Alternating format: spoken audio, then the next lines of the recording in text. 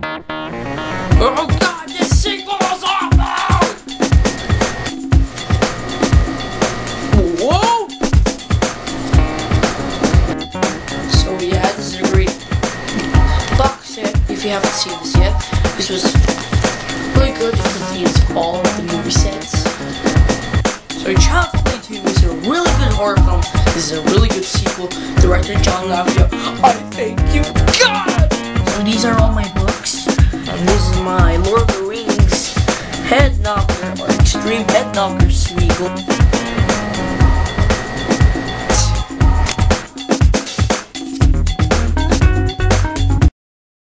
I'm YouTube film critic Quin1026 here with special guest.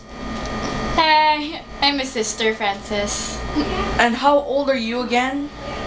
I'm 14. Oh yeah, that. because the audience wants to know what how old are you now because Oh yeah, you mean the tripod. So today we're going to review the new Steve Carell magical comedy film, The Incredible Burt Wonderstone. Of course, The Incredible Burt Wonderstone stars a bunch of cast. Steve Carell, of course. I was really excited for this movie because I haven't seen Steve Carell in his movies for a long time. I haven't seen Seeking a Friend to the End of the World, and I thought that critics really liked it. I since I um, see this movie and I saw the reviews for this movie saying that critics really hated this movie. They crushed my beloved Steve Carell. Anyways, let's go get on to the cast. And it also stars Alan Arkin, Steve Buscemi, Olivia Wilde. I can't pronounce her name that time, but um, it's all about this um Burt, this um this magician named Burt Wonderstone, played by Steve Carell. He receives a magic kid. Uh, um, I'm having a difficult time explaining the plot. Um, anyways, he gets a magic kit f- for his birthday when he was a kid, and he starts um watching these tapes like VHS. We haven't have VHS. Do we have VHS that time? VHS like these tapes like you can put into the Well, today no. yeah. Until now, they're still used today. Just Until props. now. Yeah, yeah. Props. Uh, I must say that the plot in this movie, instead of um, not explaining to you all, this was Yeah, sorry.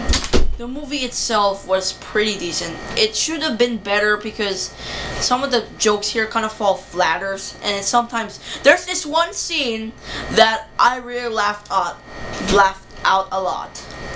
There's this one scene where they open this um, what do you call that thing?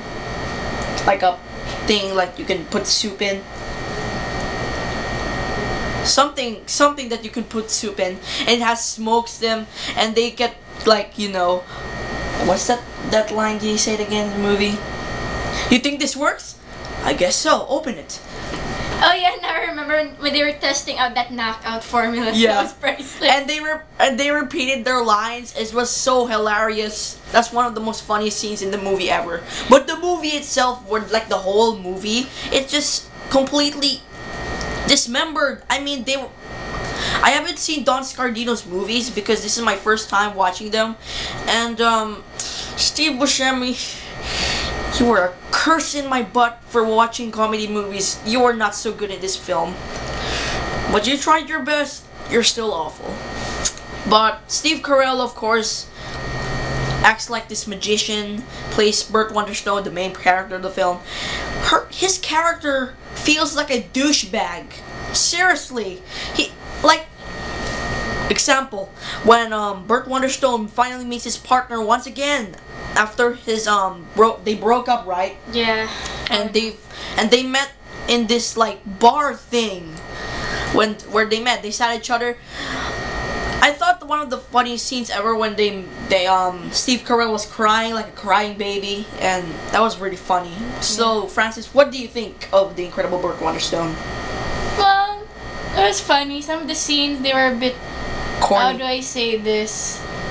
Yeah, there's also corny, also at the same time disturbing. Yeah, I think in my opinion, one of the best. Excuse me. the best characters in this movie is ser- seriously Jim Carrey. I know that Frances is really terrified of this character using his stunts. He's not really a magician, he's a street magician, as said in Wikipedia.